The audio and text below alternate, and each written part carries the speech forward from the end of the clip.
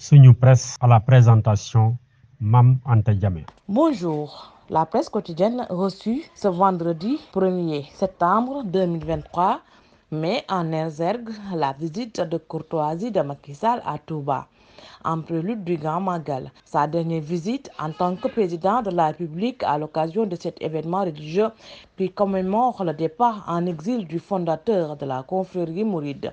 C'est un discours d'adieu contrairement aux éditions précédentes de la commémoration du départ en exil de Cheikh Ahmadou Bamba Mbacké que Macky a délivré hier à Touba. C'est en tout cas toute la portée de sa déclaration tenue à l'endroit de Serigne Mountakha Bassirou Mbacké, khalife général des Mourides. En visite de courtoisie, le chef de l'État soutient avoir effectué ce déplacement dans le souci de présenter ses remerciements aux guides religieux. Ce sera ainsi, assure le président de la République, sa dernière célébration du Grand Magal en tant que président de la République, souligne Walf Quotidien.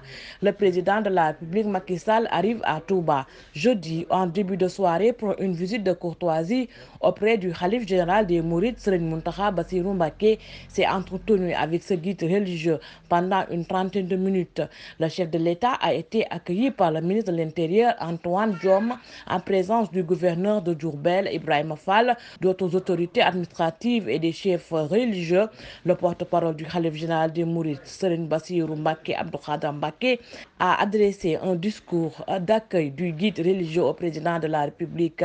Selon la tribune, le président Macky Sall fait ses adieux. La publication relève que c'est la dernière visite d'avant Magal de Macky en qualité de chef d'État auprès du khalife général des Mourides. Le chef de l'État a prié pour le khalife en lui demandant aussi de veiller sur le pays. Lui et les chefs religieux du pays, écrit le journal. À cette occasion, Macky Sall a également déclaré, s'il plaît à Dieu, l'année prochaine à la même période, c'est un autre président qui viendra ici auprès de vous en tant que chef de l'État pour vous apporter les salutations du pays tout entier?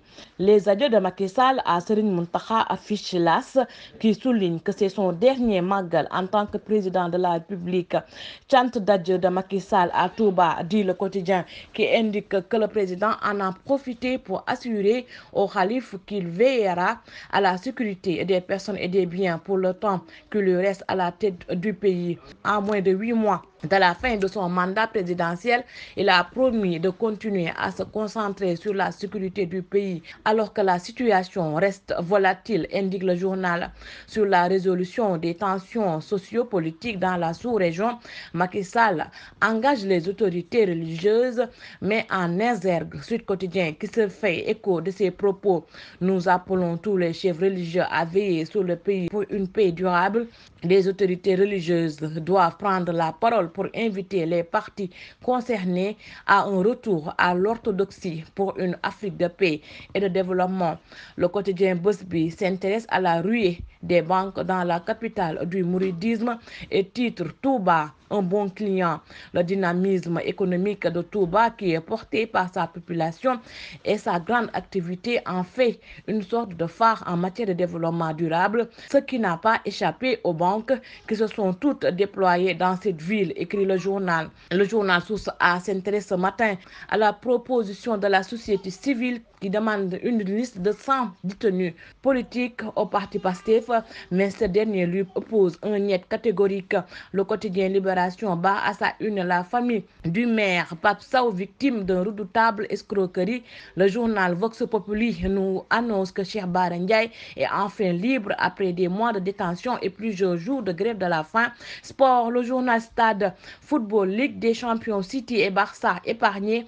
Paris Saint-Germain, Real de Madrid et Bayern dans des groupes très relevés. Lutte sunu lamb audience avec le président de la Gambie Adama Barrow, le super ndaje Ama Baldé Modou Lô, Tapha Tine et Sène au menu des discussions. Bonne lecture. Suñu presse vous a été offert par l'Agence sénégalaise de la reforestation et de la Grande Muraille Verte.